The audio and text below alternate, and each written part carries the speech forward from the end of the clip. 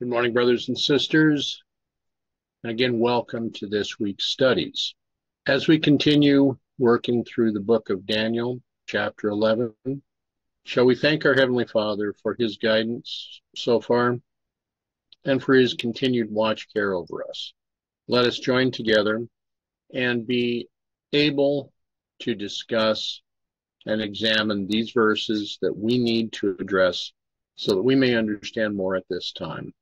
Shall we now come before him in prayer? Gracious Father in heaven, we have great need of you in all ways and in all things. Help us now, Father. Direct us where you would have us to walk. May your will be done. There are so many things, Father, that we do not understand clearly. As we come before you, we come before you not as just our Creator, not just as the author and finisher of our faith, but as our friend. Help us now as we open your word so that your will may be done and we may come to understand that which you would have us to know at this time. Thank you for those that are here for this meeting. Help us each one now to contribute so that we may more clearly understand what we need to know so that our minds might be knit together to be able to understand this message. It is for this reason, Father, that we come before you. And we thank you in prayer. We praise you. We ask for these things in the name of Jesus. Amen. Now, Smith's comment before we get into verse 22 has a lot to do regarding this with Tiberius. That tyranny, hypocrisy, infamous debauchery, and beastly intemperance. If these traits are practices to show a man to be vile, Tiberius exhibited that character in disgusting perfection. Now, in verse 22, we have the comment being made, and with the arms of a flood shall they be overflown from before him, and shall be broken, yea, also the prince of the covenant. Now, is this saying that the prince of the covenant is going to be broken? Mm-hmm. Or is this okay? Yeah, that's actually exactly what the Hebrew says. Um, okay. So it's saying the city shall be destroyed, right? Because this this is referring back to um, Daniel nine, right, dealing with uh, you know he shall confirm the covenant with many for one week, and in the midst of the week shall he cause sacrifice and oblation to cease for the overspreading of abominations. He shall make it desolate. Right. And it's going to be until the end, uh, the consummation, desolations are determined, or whatever it says there, exactly the words. This is referring to that, to that event. So the cross and the destruction of Jerusalem. And um, so the flood here. So the question is, we we go from uh, you know, Julius Caesar to Augustus Caesar to Tiberius. Now, um, Augustus is important because he's going to be the one where Christ is going to be born. And then it's under Tiberius that Christ is going to be crucified, right? Yeah. Now, it's not under Tiberius that the city is destroyed, right? That's going to be uh, later under uh, whatever the guy's name is. I can't think of it at the moment. Uh, Vespasian, is it under Vespasian? Anyway, so, but but so some people would say, well, they're jumping ahead to the future, and and in a sense, he is because this is a repeat and enlarge. So he's he's going to introduce these ideas, and then he's going to go back over it again, right? So he's going to address the destruction of Jerusalem again later. Um, but part of the reason that it's here is that it's uh, Christ is being presented in contrast to Julius Caesar and to the emperors that follow, right? So there's this contrast that's being shown uh, in the in these characters, and and that's not generally seen in Daniel 11, right? So just to remind people, so when we are in Daniel 11 and we started with um, this part where we had the death of Julius Caesar. That's going to be on verse, yeah, verse 19. So 11, 19. he shall turn his face toward the fort of his own land, but shall stumble and fall and not be found. Right. And just before that, in verse 18, it says, He shall turn his face unto the isles. Right. So you have this uh, Caesar turning his face unto the isles, his, um, and shall take away many. And then we say that a prince that is the prince of the covenant, which is what it's referring to here, is, is going to cause uh, the reproach to cease. He doesn't have his own reproach, he causes it to turn upon him. So we're taking that word turn, shuv, and we can see Julius Caesar's turns, but his turns are personal ambitions, especially in verse 19. He shall turn his face toward the fort of his own land. That's when he goes back to Rome and he's going to, you know, basically try to be set up as king, but he's going to die, right? He shall stumble and fall and not be found. And then, then in his estate's going to stand up this raiser of taxes, uh, raiser of taxes, Caesar Augustus. And then we have Tiberius. So those are introduced because we, we introduced Christ already. We contrasted him with Caesar. And so now we would come back to it again, uh, the destruction of Jerusalem and the crucifixion of Christ. Now they have that, and then in verse 23, if we remember, it's going to introduce the Roman League. So it's going to go back, right? So we, we got all this stuff brought up to the time of Christ, and then the Jewish Roman League is going to be introduced in verse 23. And uh, and that's going to be the reason for the destruction of Jerusalem, right? So they're going to address um, all of these events that that tie that previous history to the destruction of Jerusalem. So, so this repeat and enlarge way in which Daniel 11 is done makes much more sense than all of the other interpretations that I've seen.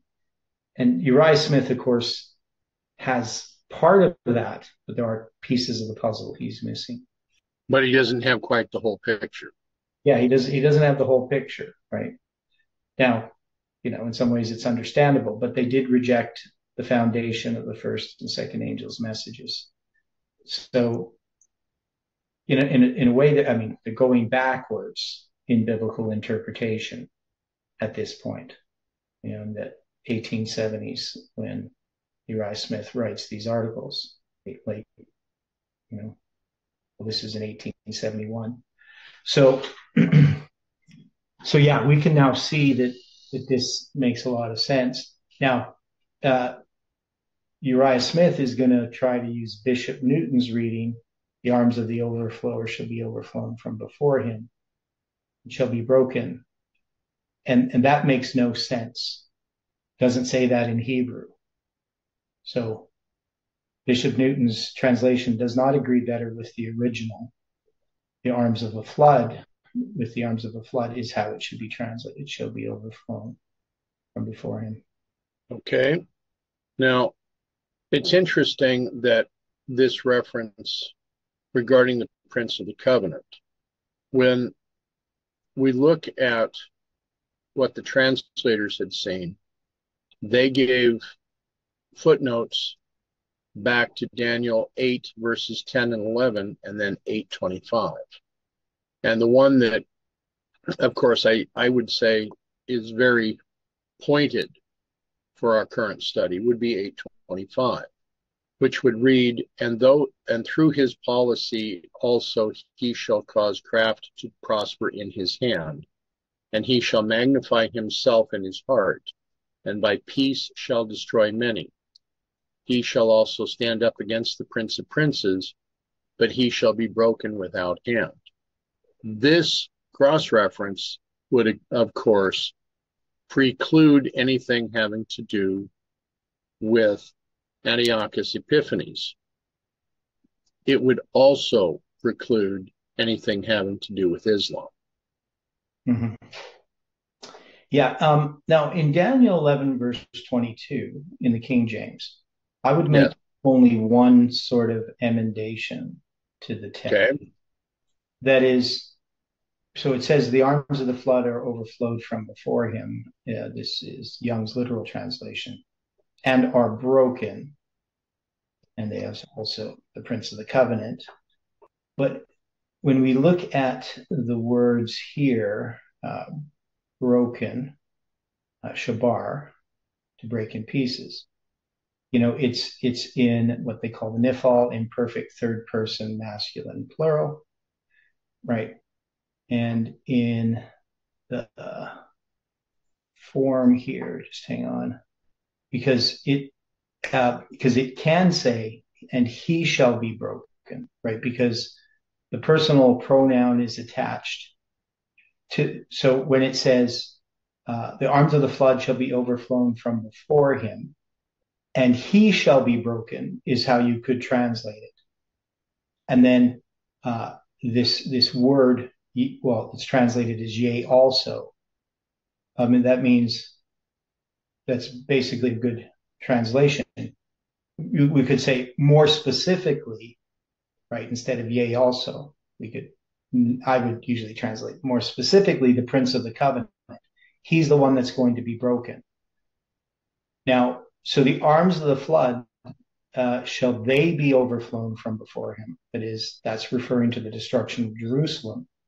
Now the question is the him here. So so the him is it's really difficult with these personal pronouns, right? So we know that they shall be overflown.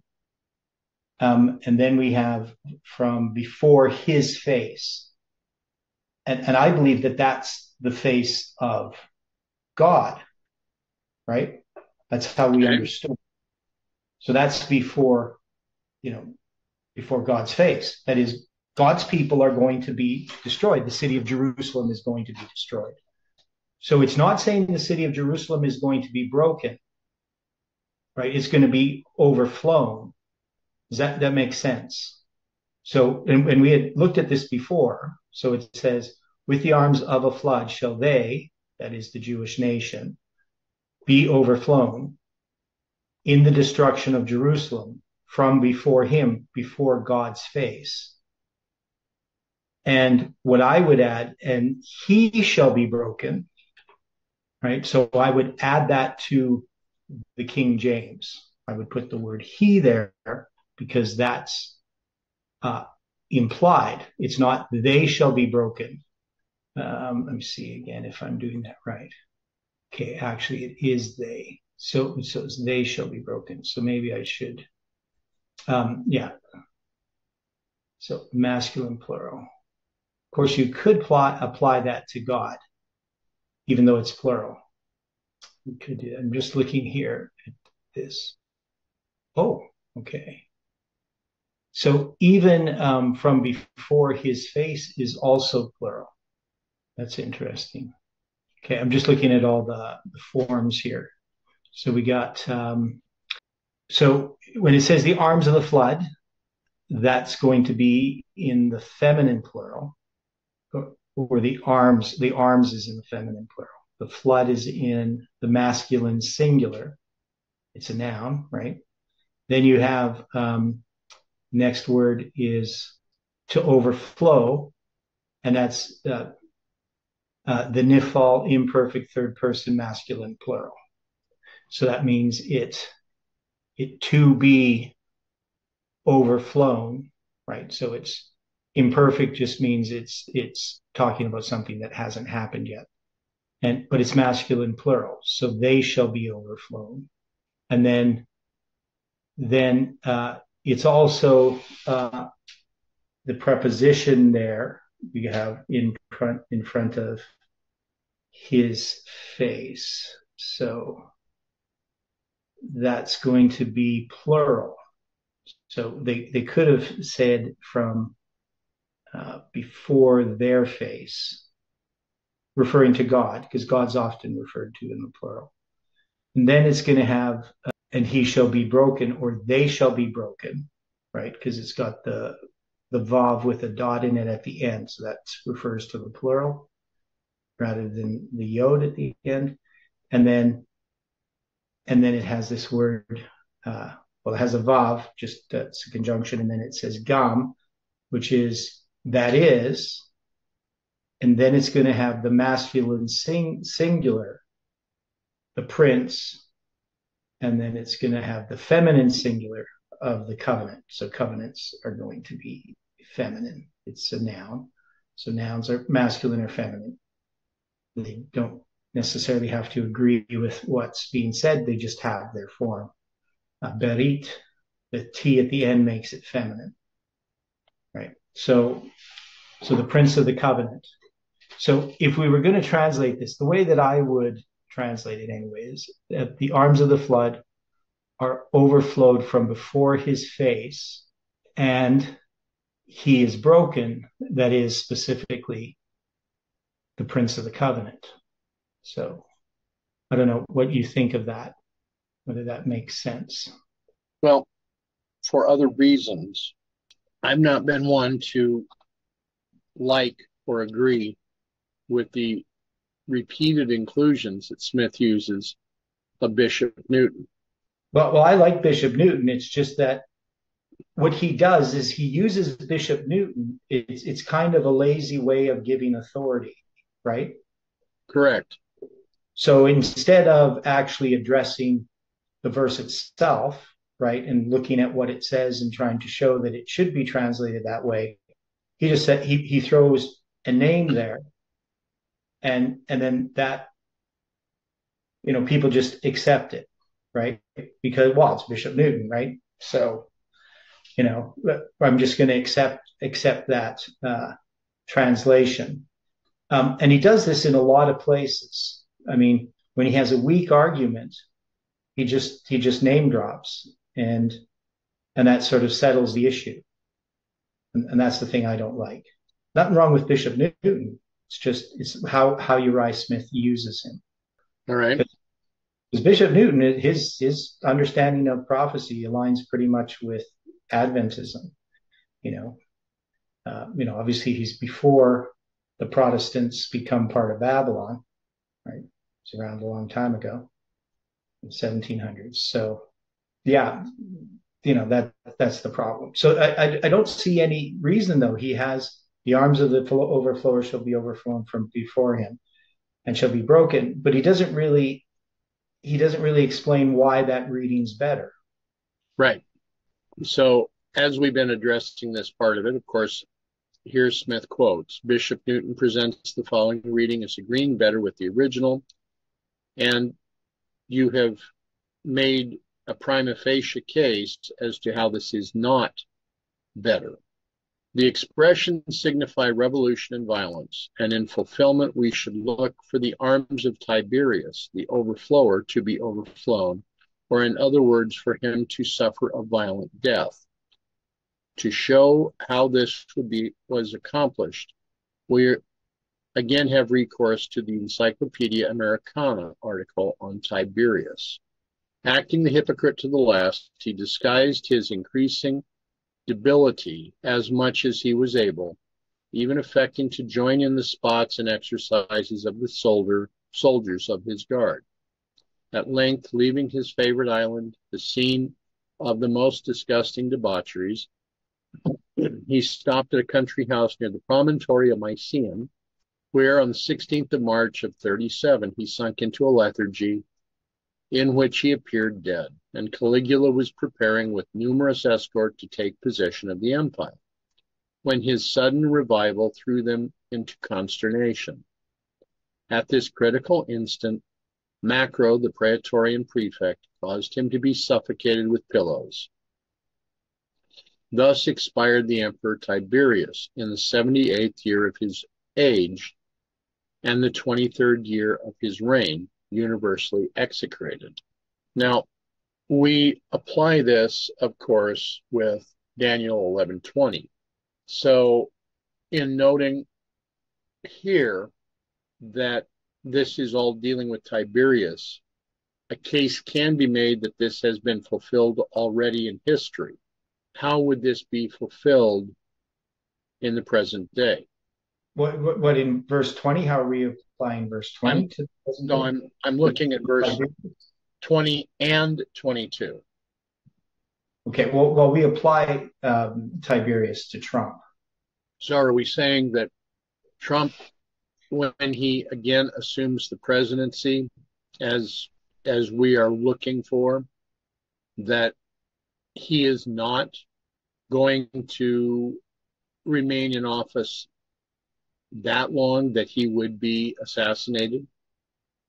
Well, no, because assassination, well, neither in anger nor in battle, right? So I don't think that would apply. I, I don't know. I mean, to be honest, I don't know how we would apply that specifically, whether we look at that as uh, what happened already with Trump, because it's not so much, you know, you don't parallel it that, you know, Trump has to die. It's not how we're lining up a parallel because it's a symbol, right? the symbol of what happened, we would have to apply, not, not, not literally to Trump as a person, if that makes sense. I'm, I'm just looking because see, Daniel 11:20 has been applied in the past with Obama because we have this then shall stand up in his place or in his estate a raiser of taxes and the glory of the kingdom. Right. So that was that was Obama. Yeah, Caesar Augustus is lined up with Obama. Okay. But within a few days he shall be destroyed neither in anger nor in battle. Oh, oh, okay. So uh, okay, so that's the one. So the vile person. Okay, so I was getting mixed up here. Because see, I'm I'm looking at this. Yeah. Okay. So that's Obama. Whereas, and then Tiberius is mentioned. Um, where? Oh, that's where a vile person. Okay. Okay. Now, did you see that comment from the chat? Yeah. Yeah. I, I don't. Do I, I, I wouldn't uh, take it as meaning anything. It doesn't mean anything to me because they're not connected. Okay. I'd have to have a line that connects those two, and I don't. That is the destruction of Jerusalem and the death of Tiberius. There's nothing that connects them. Okay. That's that's the way I would look at it. So 80 times 70, 560 years just doesn't mean anything to me. That is interesting, though, that it would be to the date. To the date? That's what's being presented right now in the chat. Yeah. Yeah, I don't, I don't see the date there. It doesn't connect it to the date. Okay, so 16th of March 37 is what Smith is presenting. Yeah, that's nothing to do with the destruction of Jerusalem dates. Oh, oh Jehoiachin's capture. Okay, I, I was thinking Jerusalem. Oh, oh, oh, oh, okay. Yeah, well, yeah, okay. If you try to connect Jehoiachin's capture, okay, what you're going to have with Jehoiachin is you're going to have him connected to the destruction of Jerusalem in 70 AD by 666 years, right? But that there's 560 here, you got another 106 years to go, right? Does that make sense? So what's what's the date we got here? 16th of March of 37. 37 AD. AD? So we're just shy of 33 years before the second destruction of Jerusalem, but 560 years from this of Jehoiachin. Okay, but so that's 30, so it's not 560 then, because that's 3780, right? Correct. Yeah, so that's going to be 622 years. Now that makes more sense then. Okay. That's what I got. Just trying to see if this makes sense. Yeah, so if if you're going to deal with Jehoiachin's captivity, because there's 666 years from Jehoiachin's captivity to the destruction of Jerusalem in 70 AD, what you have, like 34 AD, you have 36 years to the destruction of Jerusalem, right? So there's the 36 years that um, that Jehoiachin is captive, right? From when he's taken captive to released, it's going to be like 36 years and uh, 20, 23 days that he's held captive. Depends how you count the, you know, I'm counting biblical years. So, yeah, so I'm not sure how Angela got 560. She did, well, how did she do that? Um, my brain wasn't working well. I was yeah. thinking 37 BC and 37 AD. Yeah. So anyway, the 622, there's there's uh, you know 622, and then you have uh, 34 more years.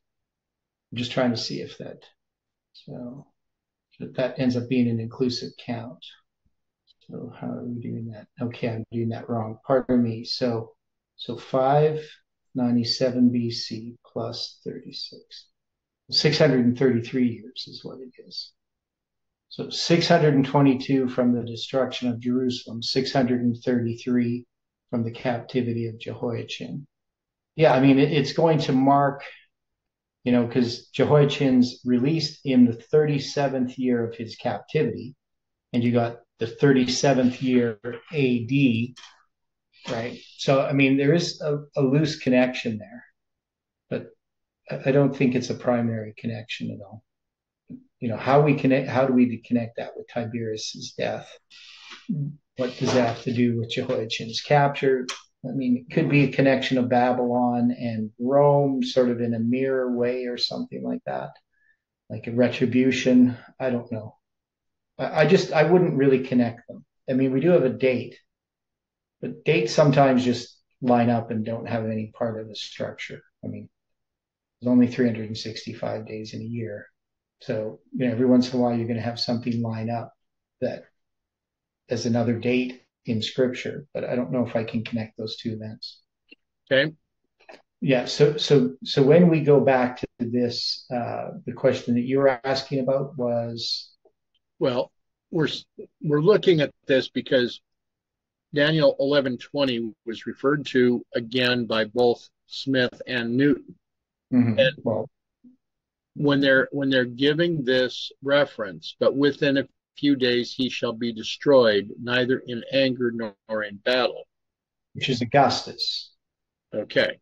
But is it also not applying here with Tiberius? Yeah, okay. So that's what was confusing me. So no. Um, so we know Tiberius is is Trump, right? So we, we can't we can't take uh, Obama and connect it. And see, with Obama, he's not going to be like assassinated. Yeah so that was what was confusing me. No i wouldn't i wouldn't apply it to to trump. Okay. Yeah okay so yeah. Thanks for confusing me.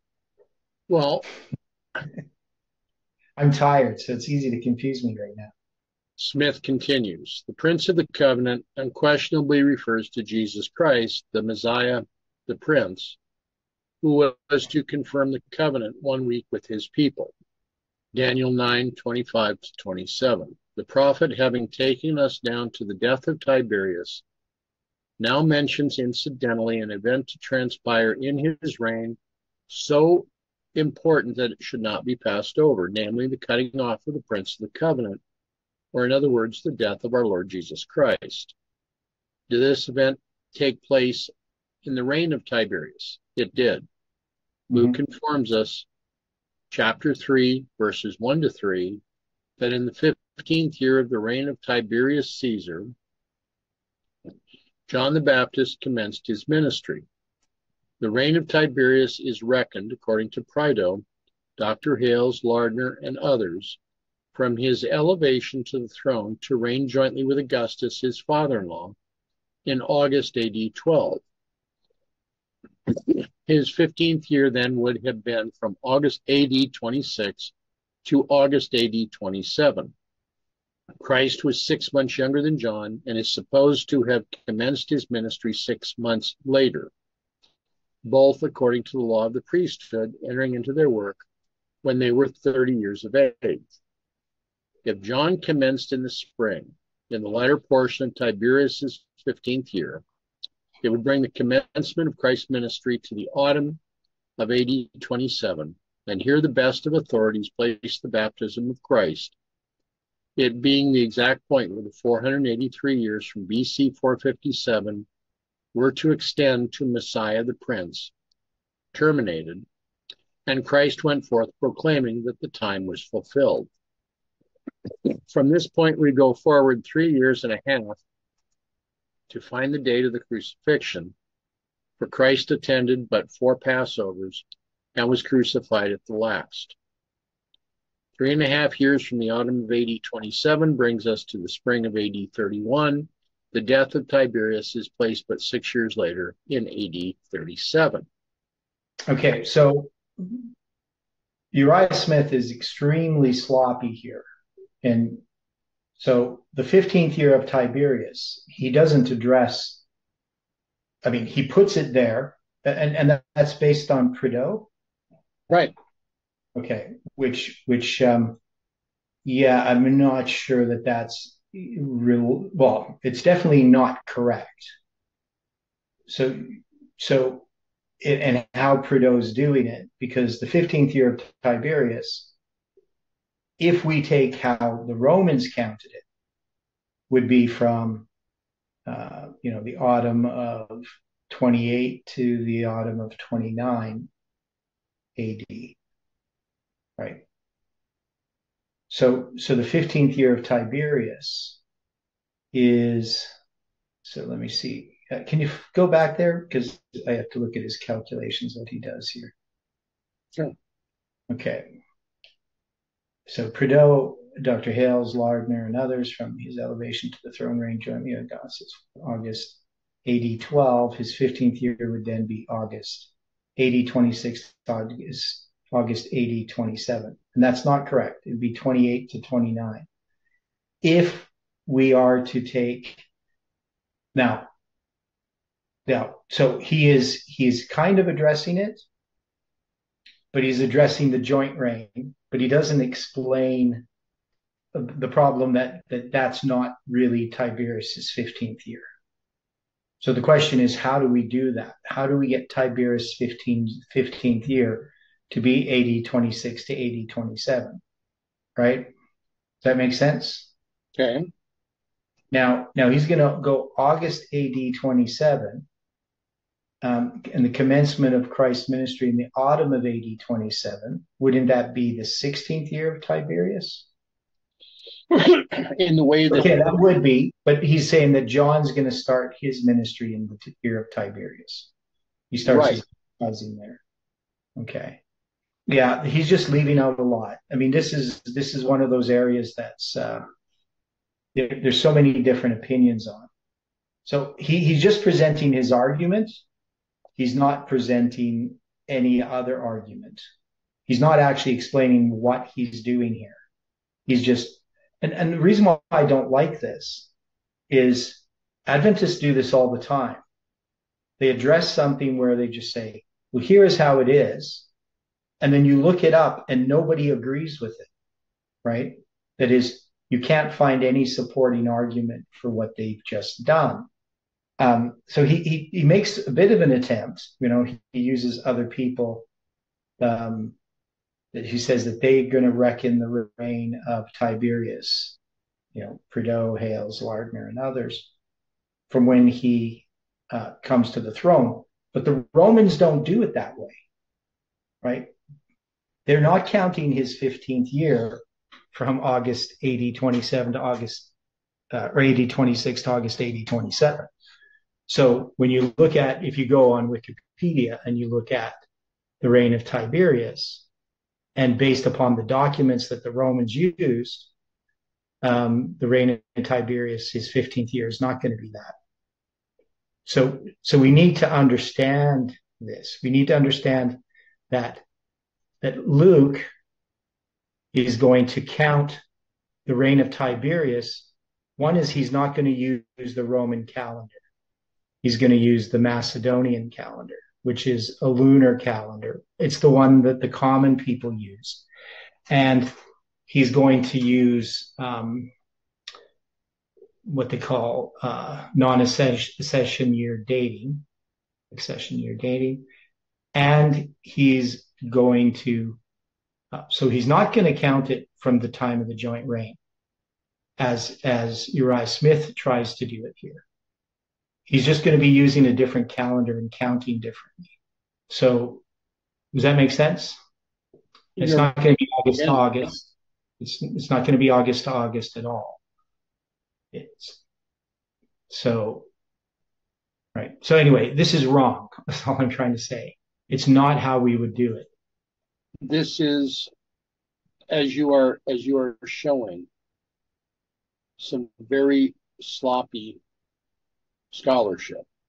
Yeah, and and it's something that bothers me about Adventists in general because it's it's always been a hindrance for me personally to recognize that Adventists just ignore uh, reality. That makes us no different than Jehovah's Witnesses or other groups that will they will present their argument because they've already started with a conclusion and they, they will just take anything that fits to make their date work. And uh, they ignore all of the arguments pretty much.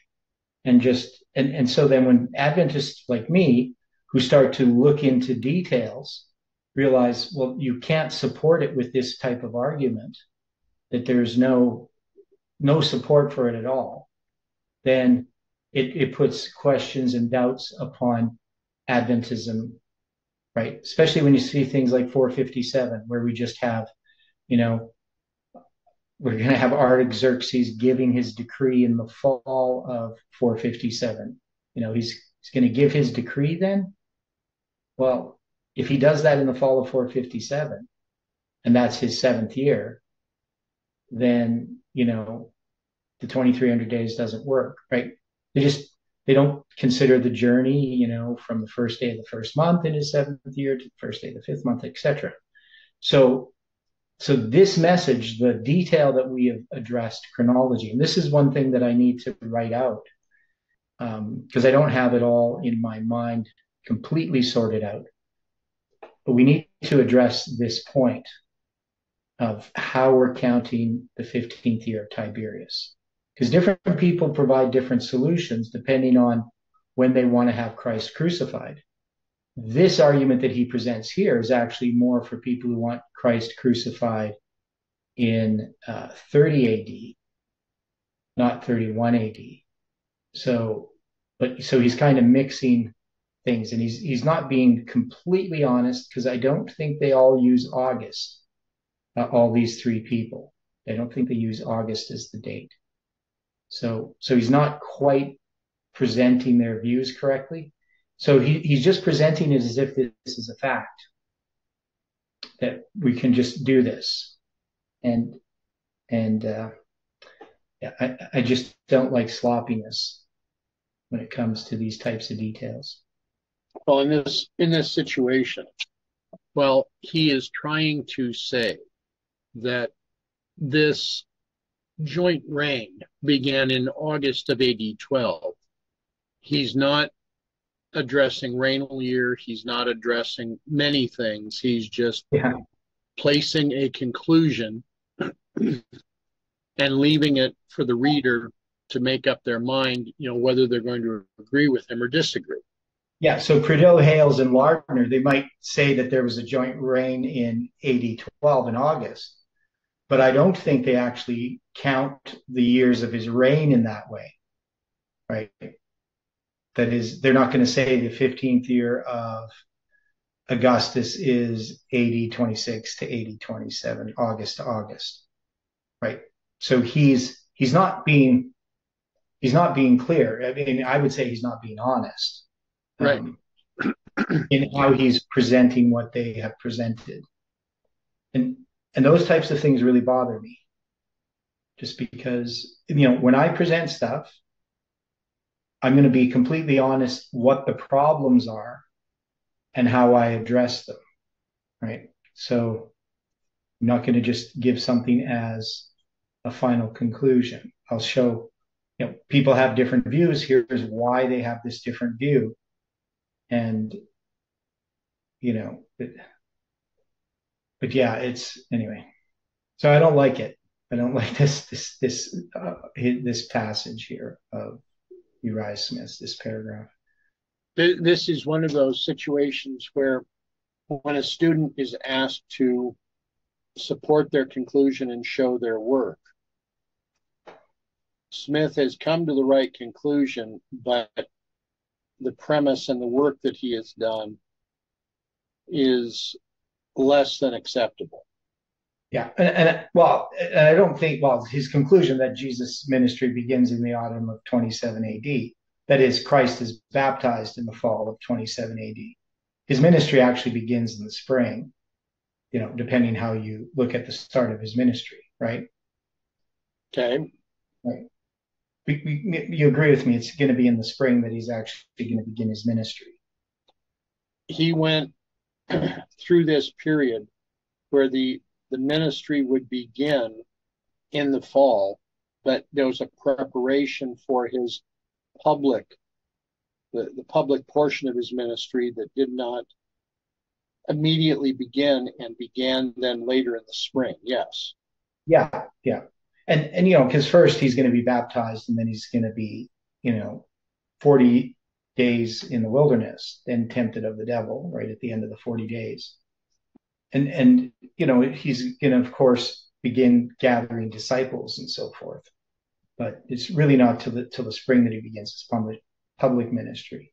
But you know i mean we can often say yeah he starts his ministry.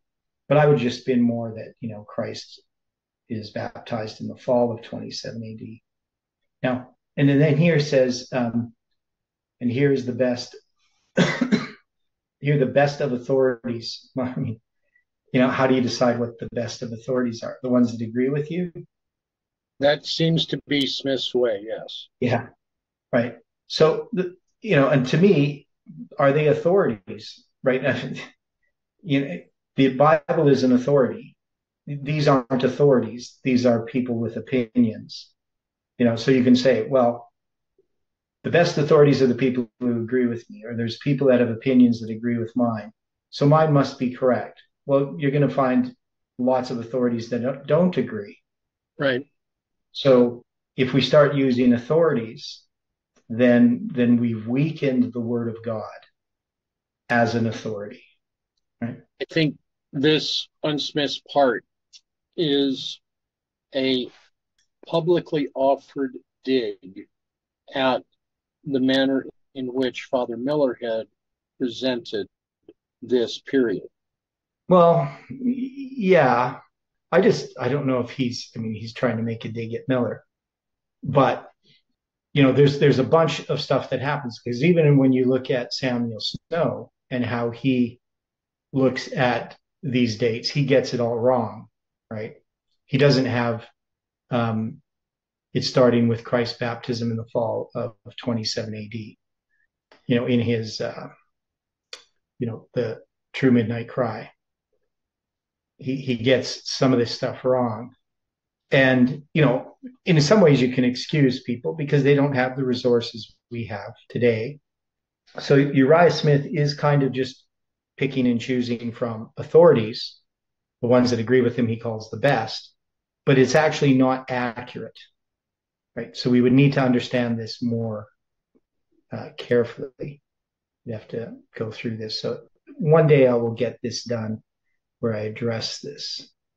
In my week of Christ study, I want to address uh, that. So, so anyway, I don't consider these people authorities, like in the sense that we can just accept what someone says if they agree with us. We need to we need to be able to show it from the evidence, right? So if he said, you know, well, the evidence places the baptism of Christ in the fall of 27 AD well, that's a lot different than saying the authorities placed the baptism of Christ in 27 AD in the autumn, right? Right.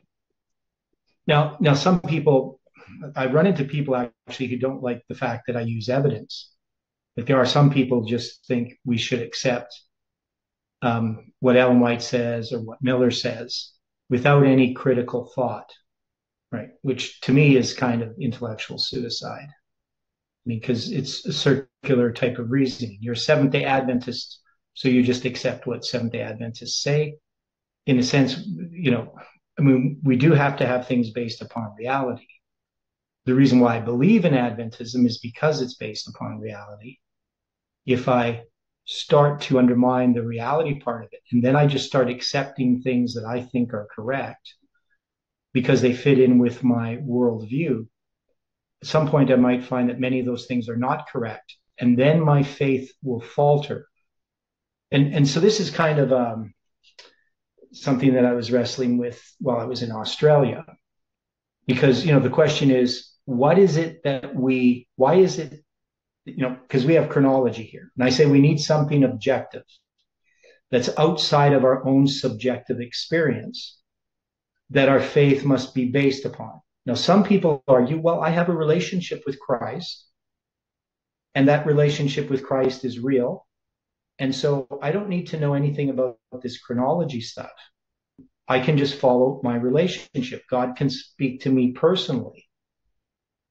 Now, of course, I grew up with my dad who believed that God was speaking to him all the time. And God definitely wasn't the one speaking to him, right? Because it didn't agree with God's word. So, so God's word is the authority. Um, but God does want us to have his word based upon reality. That is, because God word is an authority, it should base, it should agree with reality. Now, sometimes, you know, I don't know reality enough to compare it. But in the area of chronology here, we have something that is objective that we can compare. And we also have the symbolic use of numbers. So to me, from my experience, I'm not going to just trust my personal feelings. I'm not going to just say, well, like a Mormon would, well, the burning in my bosom makes me believe something to be true. Because we know when we go through the time of trouble that our senses are going to be captivated by Satan. Things will not appear as they really are. So it'll appear, for instance, that we're the outcast of the earth, just like when Satan comes to Christ and says, If thou be the Son of God, turn these stones into bread. Ellen White says that it appeared to Christ that what Satan was implying is that, well, you're probably the fallen angel. You have to prove to me that you're that you're actually the Christ. And from Christ's own view of himself, what Satan was um, implicating seemed to be true because he didn't feel like the Son of God, right? So, but he knew that his father 40 days before had said, Thou art my beloved Son in whom I am well pleased, right?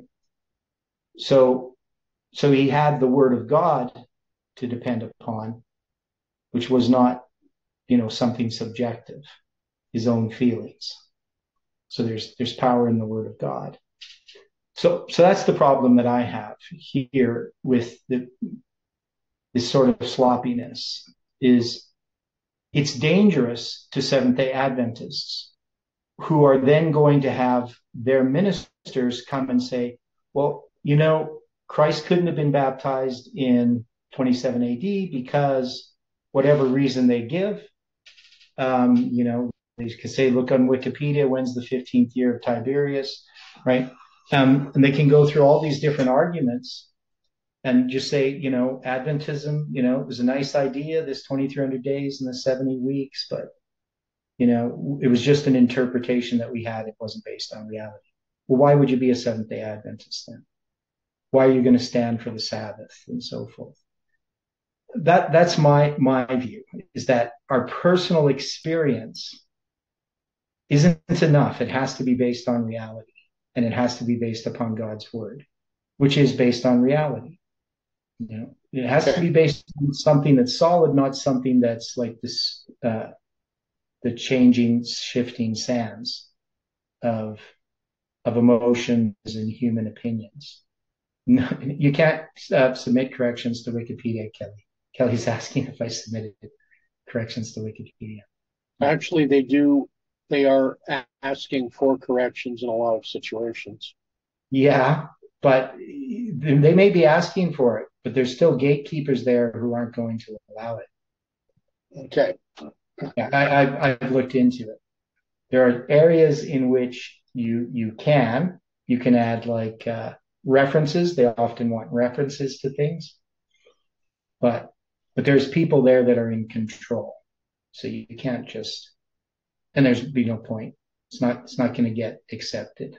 Okay. We is not our authority. We can get go there for information, but we always have to recognize that it's still just as much a man's opinion as anything else. So you have to go back to the original documentation and the things that can be proven. Now, the next verse. And after the league made with him, he shall work deceitfully, for he shall come up and shall be strong with a small people. Two points in in this the word made is an added word second in this same in this same vein the he shall work deceitfully the translators use as another reference to Daniel 8:25 now I found it interesting that the translators in the margin would place this as being fulfilled in 171 BC during the Third Macedonian War. 171? Yep. Because they're dealing with what, Antiochus Epiphanes or something? I would say that they're trying to deal with Antiochus Epiphanes, yes. Yeah. Yeah. So so we understand that this now is going back and explaining why Jerusalem is destroyed.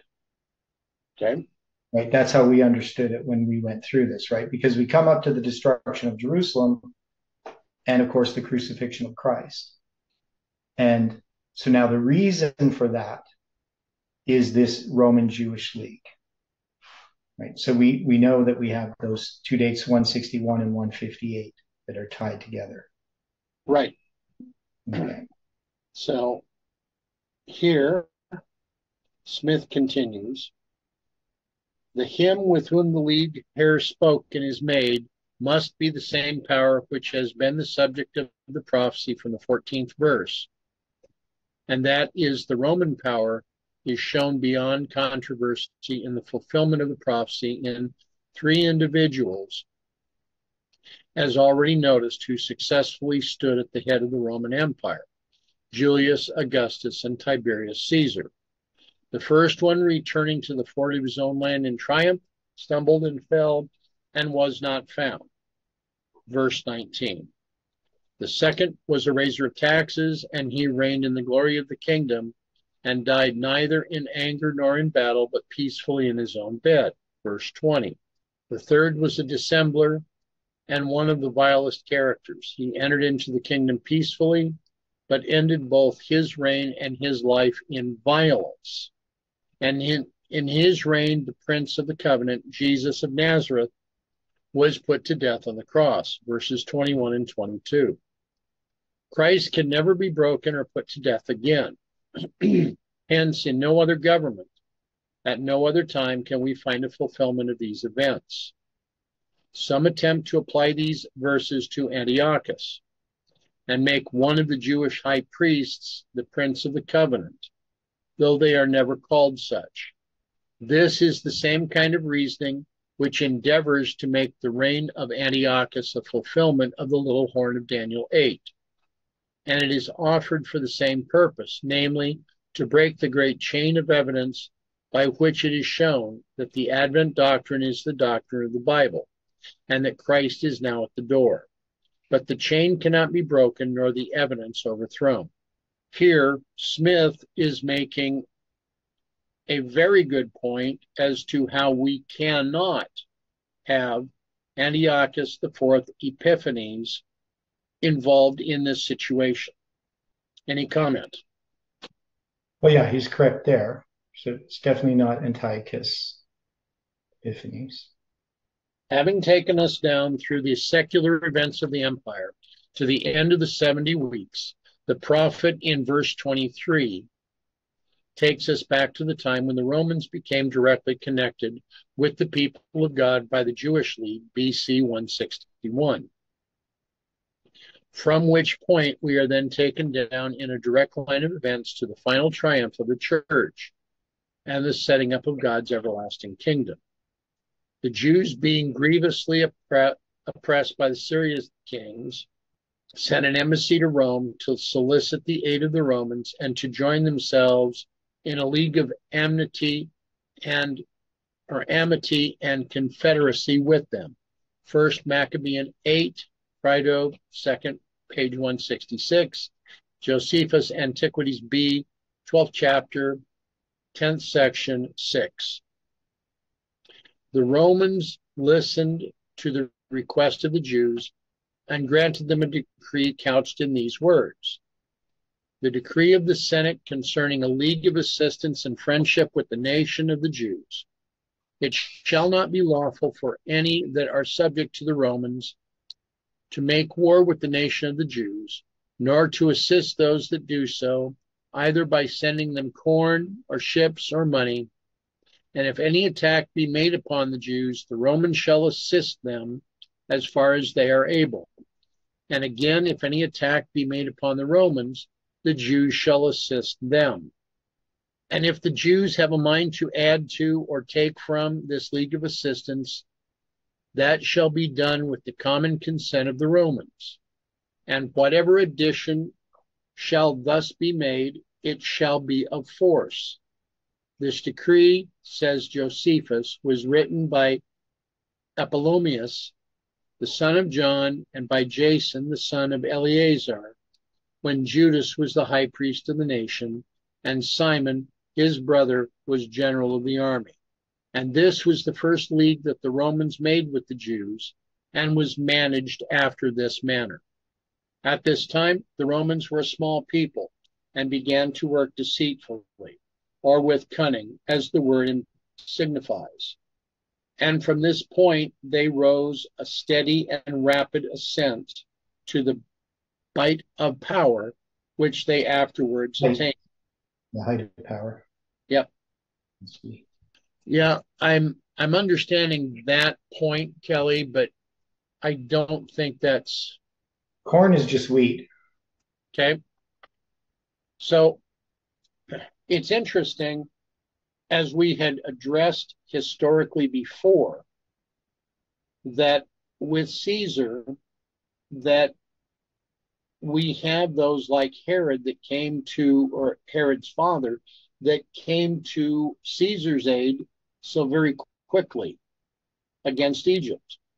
So the Jews were very focused that you know, hey, we're we're this this wonderful people. We've made a league with this other wonderful people, even though according to the to the very instructions given by God to Moses, they were not to enter into a league with any around them. Yeah. Now, now we know, of course, the from uh, the first league made with the Gibeonites to 158 is 666, no, 1335 years and 666 times two years to 161, right? And then we have from 13, from the end of that 1335, 666 inclusive years to the beginning of the 1335 of Daniel 11, or Daniel 12, pardon me. Verse, is that verse 12? Anyway, um, so so we know that this Roman Jewish League he gives 161. We know that that dates when they make the league, but it goes into effect when they actually utilize it, which is in 158. Right. Right. That that's the way that we understand it. Now, so in Young's literal translation, after they join themselves unto him, he he worketh deceit and hath increased and hath been strong by a few of the nation. Now, that's the way he translates it. And what he's doing here is um, so literally what you have in Hebrew is so after they unite, what it says. So after they make this league, um, and I think this preposition here doesn't make sense to me. Well, that's just with. Okay. So after they make a league with him. Now, technically, it looks like them, not him, but uh, anyway, uh, he shall do deceitfully, right? Treacherously. And then it says, and ascend. And then it's going to say, and be numerous uh, with a small people or goy, which is going to be goy, not goyim. It's not going to be plural. It's just going to be singular. Yeah. So the small, small people. So, so the question is: Is the small people referring to the Romans, or is the small people referring to the Jews? Um, and this word "strong" that's that's translated "strong" is actually numerous. So, how would we take that? How could it be the Jews? Well, they could be a small people. That's that's all I'm saying. Is that's one option that the Romans are going to dominate them. That's that's one way that because the Romans are going to be numerous. It, are the Romans a small people at this time? No, they're not. That's the problem. Okay. So then, so who is the small people? Is it just some of the Romans go into Judea? And that's what just means like a few people? They're going to become numerous with a few people? You know, as as we're looking at this, I, I have to admit I've not really considered that as far as the small people before. Well, we did talk about it before. Okay. So we had, and after the league, so we have that. We parallel 161 BC and 158 to November 9th, 1989 to December 25th, 91. He, the papacy, shall work deceitfully, use the League for furthering Roman interests in the eastern regions. And then what we have is for he, Pompey, shall come up, right? That is, he's going to enter Judea 64 and 63 BC and shall become numerous with a small people or nation. We don't, we didn't really, we discussed it, but we didn't really settle on is that that they just come with a small amount? How do they become numerous with a small? Okay. People? Now, that Pompey came yeah. in with an army is correct. Yeah. We noted as we were going through this before that history shows that Caesar came in with a very small force. So after the defeat of Pompey in Caesar's civil war, after the defeat of the armies of the Roman Republic, Caesar was left with a situation. He was to enforce the will of Ptolemy that his children, under the protection and guardianship of Rome, should rule Egypt.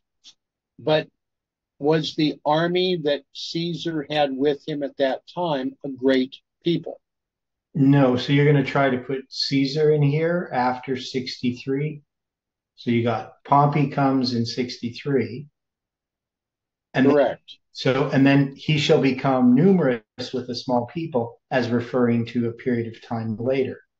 Well, that's an application and that's, that's a presentation that can also have a relationship with what we're looking at for present truth. Okay, well, what we had with present truth is we had the Jewish League that's going to be uh, marked with what happens in that 777 days with the fall of the Soviet Union. Uh, that is the papacy in the United States are going to work, work together, right, to do that. But the papacy is the one that's going to work deceitfully furthering the interests of Papal Rome with the USA. Now, then we had for he Pompey shall come up. Well, we didn't actually parallel him with anything. We just put Pompey right. equal. So, so we didn't know uh, what we would do with that. Now, um, now we had him coming up, um, entering Judeo Syria, 64, 63 BC.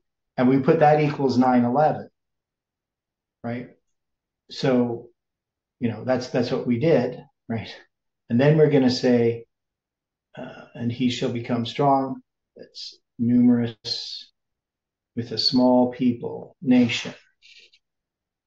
And so we took small people as uh, the Hebrew numbers there.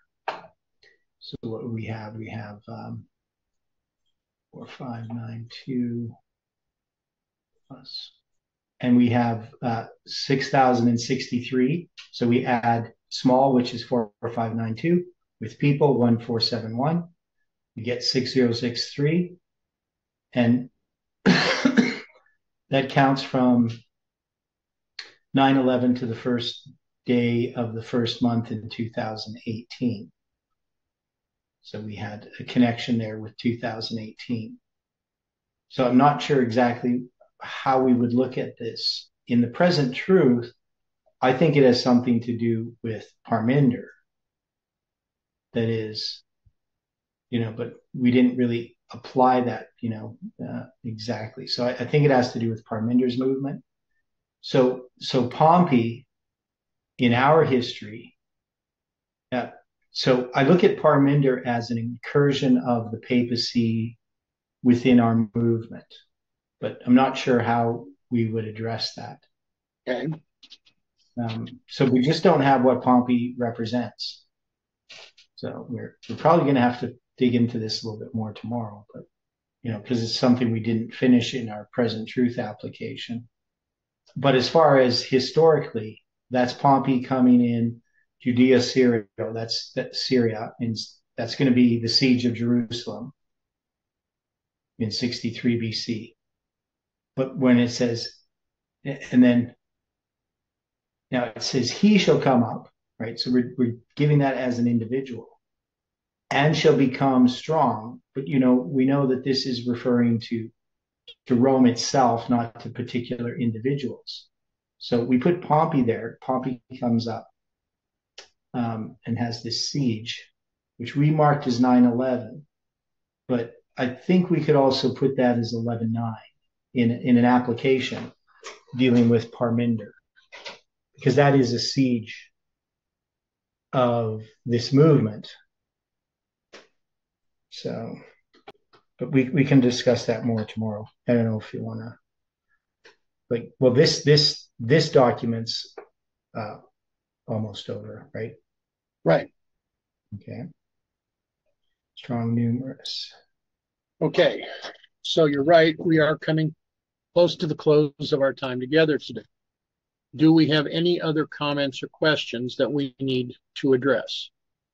Um, just hang on. Yeah, well, I'm just dealing with some of this numbers stuff. Stay on a second. I'll just finish this and then, yeah, I don't know. I'm going to have to look at this over if I have a chance today before the study tomorrow. Okay. Any other comment? Then shall we close with prayer? Gracious Father in heaven, we thank you for this time that we have spent together. We thank you for the opportunity we have to examine what you are presenting so that we may be guided and our minds opened so that we may truly understand. Be with us today in all that you would have us to do. Help us now as we go through this day that we may look to honor and glorify your name in all ways and in all things. For this we ask, for this we thank you and we praise you in Jesus' name. Amen.